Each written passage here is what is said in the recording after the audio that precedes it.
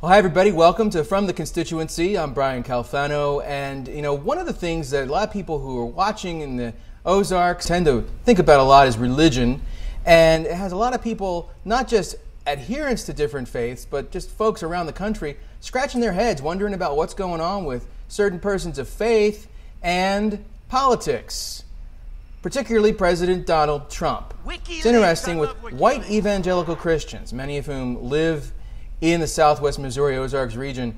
20 years ago, President Bill Clinton was the public face of moral decay in the country, and now President Trump, with his various picadillos, well, he tends to get a pass or, or a mulligan. Got a guy who is hot right now.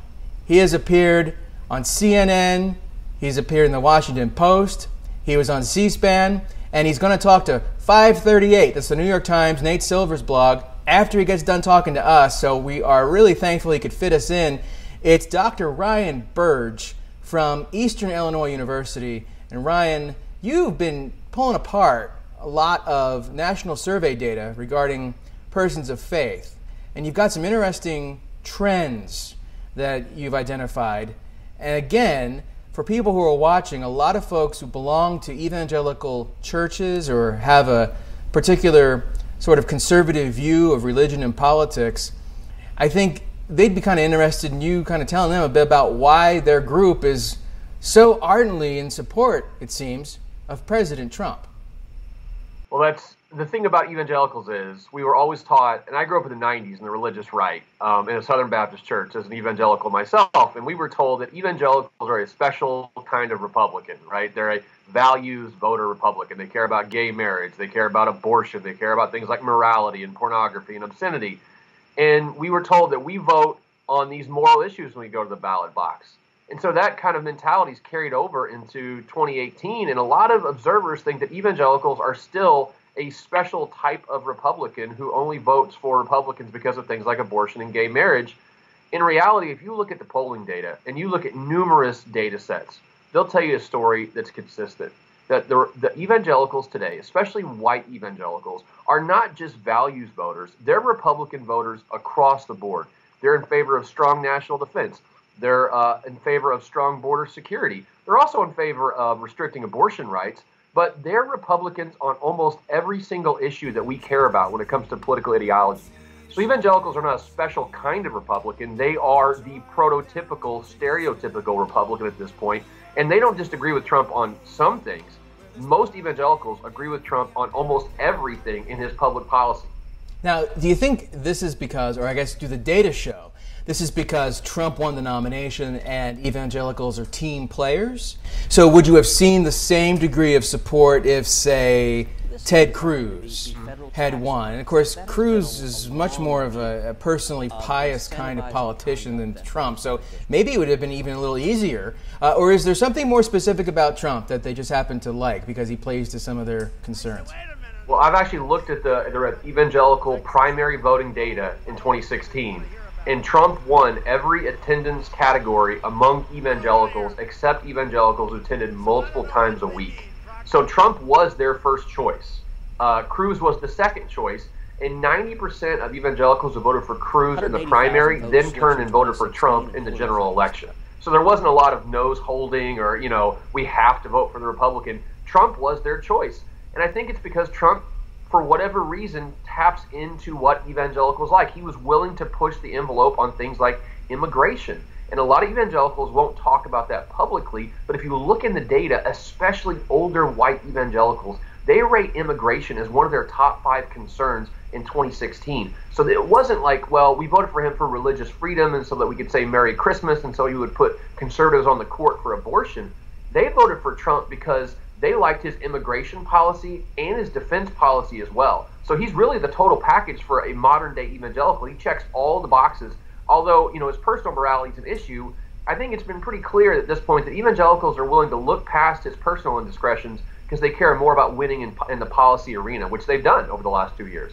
You know, there's a lot of talk and a lot of historical documents out there written about the Christian right when it came together, the, the so called new Christian right in the late 1970s. And the folks like Jerry Falwell and Paul Weyrich, they kind of made a deal with the devil, if you want to call them that, the libertarian, low government, low taxes, uh, less government Republicans And to the extent that that's true, are we sort of seeing that the, the evangelical sensibility has kind of been taken over by these larger party and partisan dynamics in the Republican Party?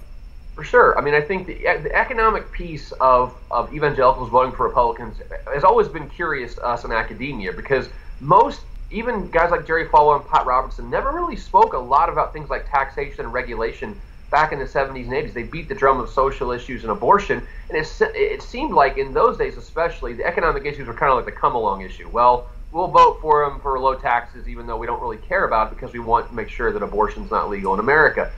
It seems like as evangelicals have gained more education and, and had higher incomes as a result, the end result is that they are have middle middle class incomes to upper middle class incomes, and so they care about taxes and regulation more now than they did 20 years ago. So it seems like both pieces of the religious right have sort of come together in the 21st century for evangelicals. Now they care about social issues, but they also care about taxes and regulation, like the Republican Party platform talks about. So, so it, I mean, is it unfair to lay down the marker and say there's not a dime's worth of difference between a secular conservative and a religious conservative in the Republican Party these days? There's very little difference. The biggest difference I can see in the data is on things like gambling. I know like sports betting has become like a major policy issue across the country. The Supreme Court made it legal or allowed states to uh, make it legal in the last year. And there are some. There's been some pushback. For instance, in Iowa, uh, the legislature passed a bill that would allow sports gambling, but the governor might veto it because she has a strong evangelical Christian base.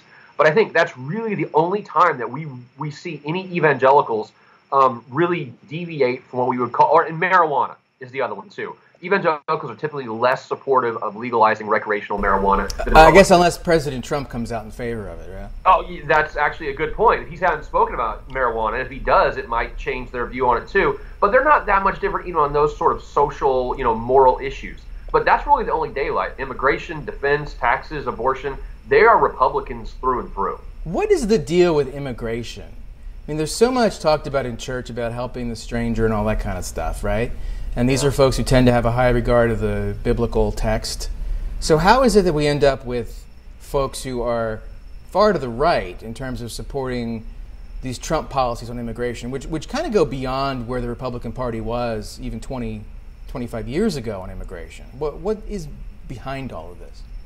Well, in the literature, they talk a lot about uh, racial resentment, especially white racial resentment. And that the fact is that everyone has become exceedingly aware of the fact that the, the share of the population that is white in America is on the decline, right? Future generations are going to look more and more racially diverse, and the white share is probably going to drop below 50% in the next 20 to 30 years. That's what the Census Bureau tells us.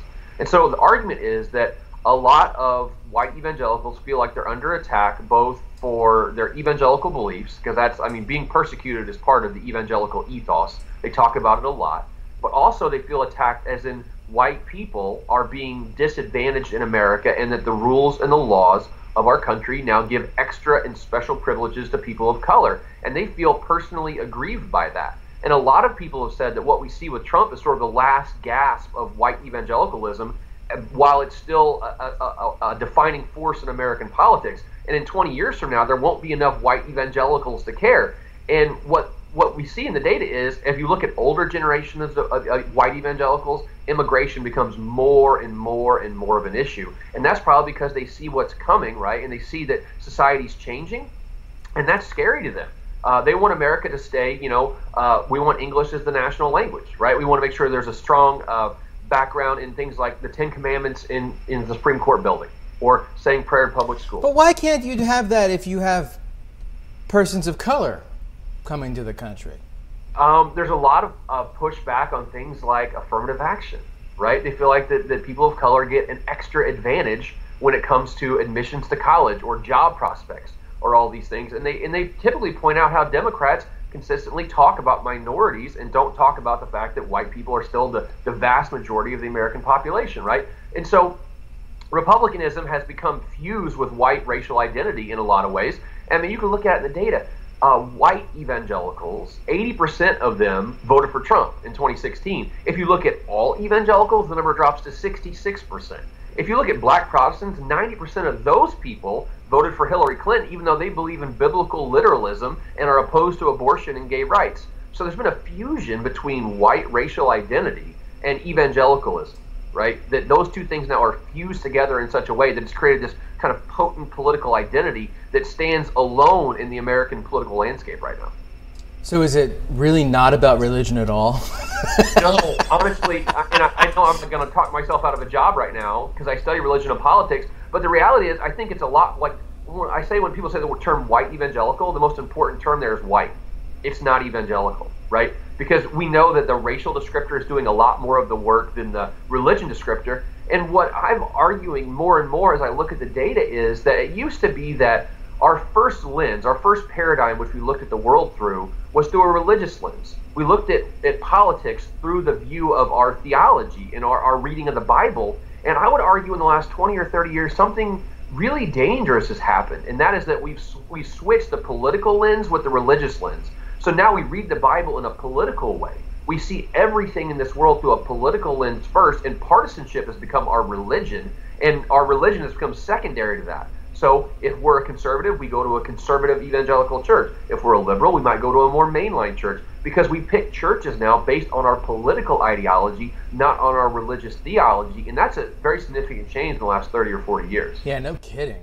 Now, what about the young folks? Because there's at least a lot of anecdotal discussion regarding, well, you know, the young the youngsters are different. They're more open-minded about things and they're more to the left than some of the older folks in that group. Is that true according to your analysis? No. If, if you look at any data and you break evangelicals up into different age groups, we can see that the youngest white evangelicals are just as conservative as the oldest white evangelicals. Actually, the least conservative is the, the people in the ages between 40 and 60. They sort of stand, they're, they're, they're still Republican, but they're just a little bit further to the left than the young evangelicals and the older evangelicals to think that there's some sort of coming wave of moderate or even liberal white evangelicals finds absolutely no evidence in the data. And what's even scarier is if you look at the differences between young white evangelicals and young white young people in general, the, the gaps between their two positions on partisanship are as large as any age group in America today.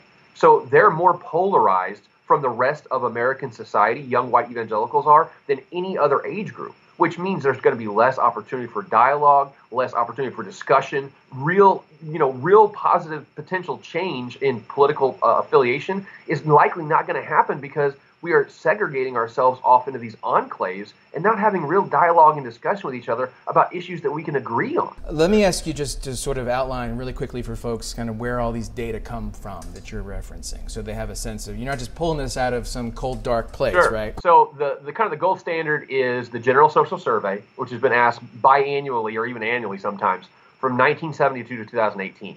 It's terrific because it asked the religion questions in the exact same way it did in 1972. So it's a very, very good instrument to track the change in religious uh, behavior and belonging over time, right? They ask the literalism question the same way. They ask the church attendance question the same way. So if you're looking at long-term trends, it's the best. Now, there's another data set that's come on the, on the scene in the last 10 years called the Cooperative Congressional Election Study.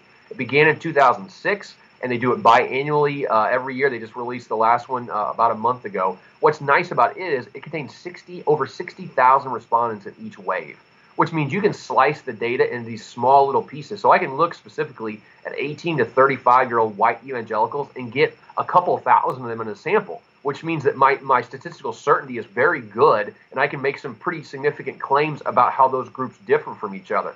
And then there's other data sources. You know, there's little data sets that come out every once in a while that have maybe 2018 data, or there's panel data that I look at about how people change their religiosity over time. There's one called the, the CCES, the Cooperative Congressional Election Study, has a panel where they ask the same people the same questions in 2010, 2012, and 2014. So you can look at how people change their religious affiliation over time, how they change their political affiliation over time. And what we find, interestingly enough, is in that panel data, people are much more likely to change their church attendance than they are to change their political affiliation. Yeah, that's what boggles my mind. Because when you and I were coming up, it was always the church drives the politics. Oh, for sure. And now, like you said, it's the complete opposite. Ryan Burge, you are at the bleeding edge of the cutting edge on this work. And again, there's no mystery as to why a lot of national media outlets are asking for your input on all of this because you're helping us understand, and we really appreciate your time on all of this.